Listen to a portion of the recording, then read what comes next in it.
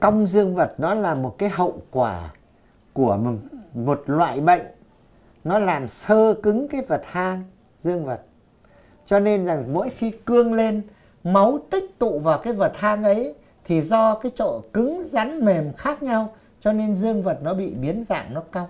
Thế thì cong dương vật nó sẽ có ba cái biến chứng.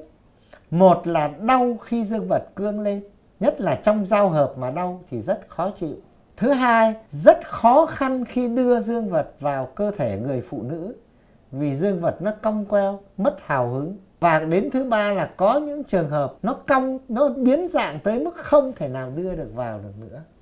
Cho nên rằng là cong dương vật, vẹo dương vật là một hậu quả do một cái bệnh ở trên vật hang dương vật. Và những trường hợp này thì phải phẫu thuật để chỉnh hình, tức là một cái nguyên tắc nói nôm là chỗ nào sơ cứng thì cắt bỏ đi.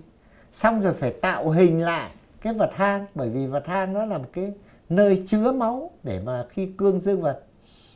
Và cái thứ ba, tức là để cải thiện cái chuyện sinh hoạt vợ chồng, tức là cải thiện cái chuyện giao hợp, không gây đau đớn.